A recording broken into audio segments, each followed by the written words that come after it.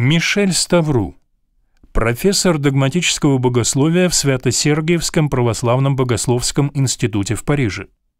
Закончил Парижский католический институт, Свято-Сергиевский богословский институт и университет Сорбонны. Специалист в византийском богословии. Vous, comme les, l'organisateur principaux de ce, ce colloque-là, вы являетесь главным организатором этой конференции. Что лично вы думаете о ее проведении?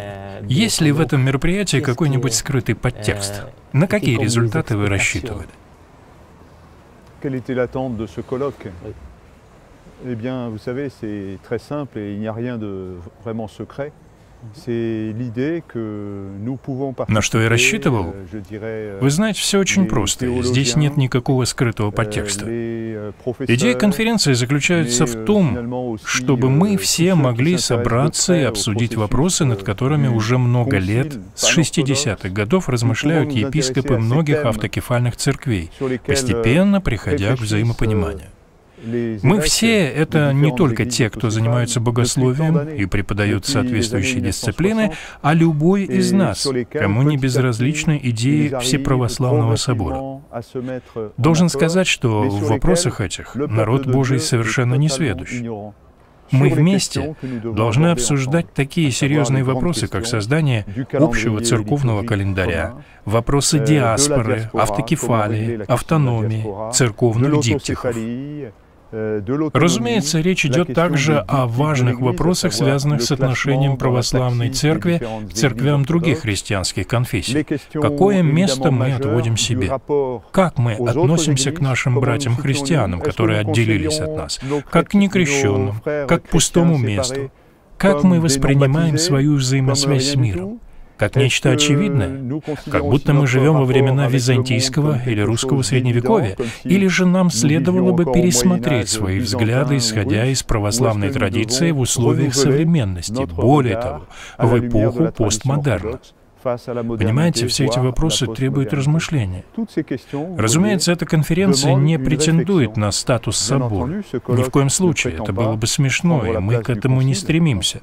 А стремимся мы к тому, чтобы вызвать интерес, я бы даже сказал, пробудить сознание правоверных христиан и богословов. Мы хотим привлечь всеобщее внимание к вопросам, касающимся не только епископов, но всех мирян, готовых услышать слово епископов, потому что именно именно это слово укажет нам путь. Но чтобы услышать его, наши сознания должны быть определенным образом подготовлены. И эта конференция, возможно, будет этой подготовке способствовать. Как вы думаете, проблемы православной церкви будут шире обсуждаться после проведения конференции? Будет ли она способствовать их разрешению?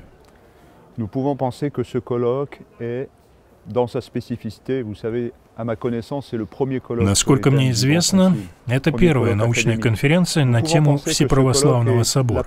Ее проведение можно считать первым кирпичиком большого здания, строительство которого мы будем продолжать. Первым кирпичиком в стене, который будет воздвигаться прежде всего при помощи наших епископов.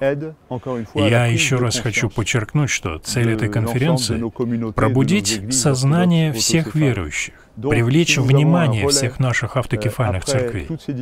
Поэтому, если выступления и живые обсуждения, которые в эти дни прозвучали на конференции, будут впоследствии опубликованы в виде тезисов и статей, я думаю, что со временем это послужит развитию диалога, продолжению дискуссии как на научном уровне, так и на уровне простых священников.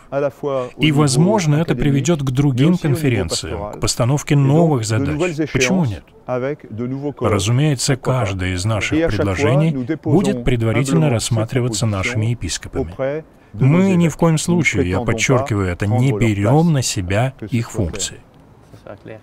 Michel, cette colloque est organisée en collaboration avec Caillou Leuven et l'Institut Конференция прошла при участии Центра экуменических исследований Левинского католического университета. Какую цель, по-вашему, преследует данный формат? Non, je crois que ce n'est pas exceptionnel. Je pense que c'est indispensable aujourd'hui que notre réflexion pan-orthodoxe Мне кажется, что нам, православным, размышляющим о грядущем соборе, сегодня просто необходимо участие наших братьев, католиков и протестантов.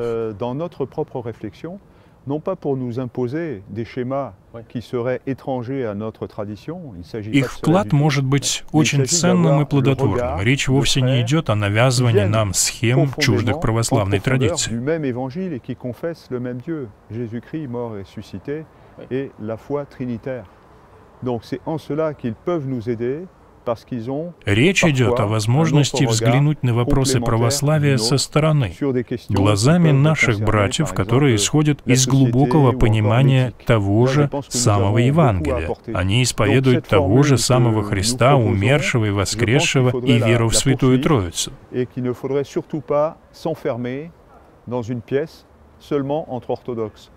en disant le concile panorthodoxe ne regarde que les orthodoxes. Их взгляд на некоторые вопросы, в частности, проблемы общества и этики, может отличаться от нашего. и в чем-то дополнять его.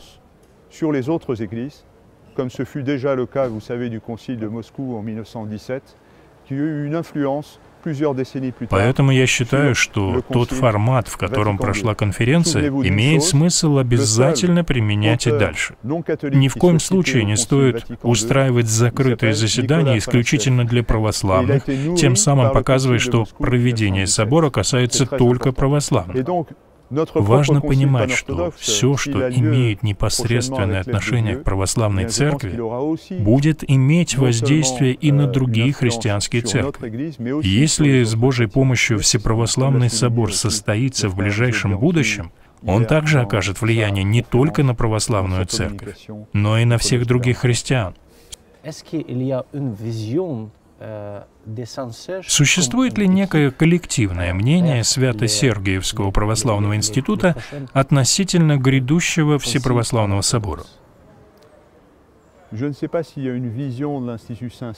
Мне трудно ответить на этот вопрос, поскольку мы не обсуждали эту тему коллективно.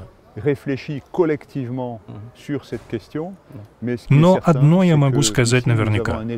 Здесь, в институте, мы обладаем живым наследием России, которое представляет собой богословскую науку, построенную на основах православной традиции. Et nous sommes dans la filiation directe мы непосредственно связаны с теми существенными изменениями, которые сформировали новые религиозные учения в России XIX века. В частности, речь идет о результатах Московского собора 1917 года.